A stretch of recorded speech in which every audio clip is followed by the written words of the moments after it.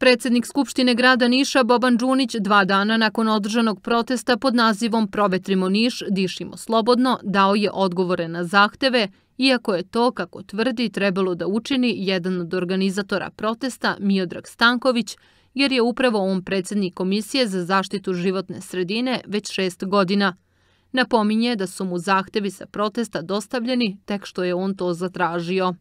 Miodrag Stanković upravo lice koje treba da da odgovore na sva pitanja iz zahteva koje je on sam kao ulični šetaš predao Skupštini grada, a ja naravno dostavio njemu, a ovom prilikom kao predsedniku Komisije za zaštitu životne sredine i zatražio da po hitnom postupku zakaže Komisiju za zaštitu životne sredine i da odgovore na pitanje i zahteva koje je on predao kao ulični šetaš i organizator protesta.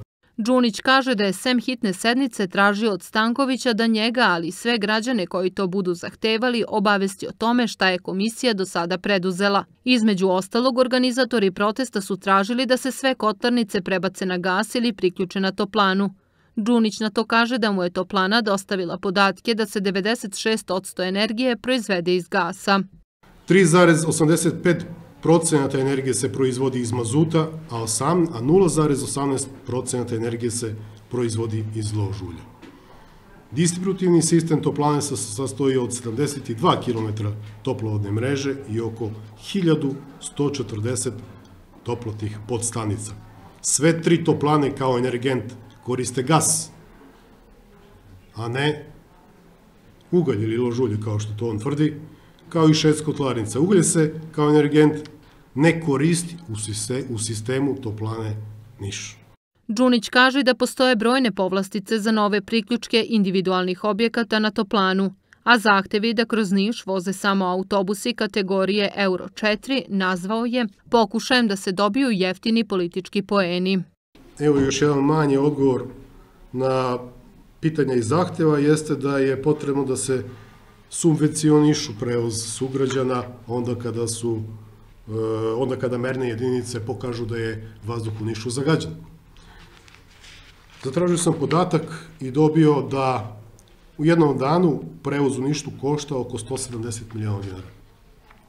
Pa neka Milor Stanković sedne u svoju toplu fotelju, kao što to kaže, neka zasuče rukave, neka organizuje komisiju, neka postavi pitanja, neka da inicijative, neka da predloge, Neka nam kaže odakle da izdvojimo preko 100 miliona evra kako bismo imali autobuse na električni pogon. A pre svega da ga pitam, a da li ti autobusi na električni pogon koriste litijumske baterije ili se možda i ti boriš protiv iskopavanja litijuma? Kakav absurd.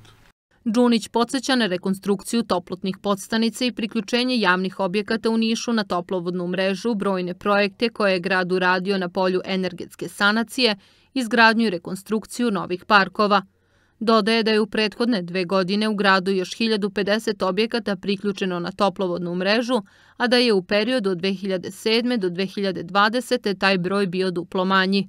Inače, organizatori protesta tražili su da se ispuni osam zahteva za čisti vazduh na koje je predsednik Skupštine na konferenciji dao sve odgovore.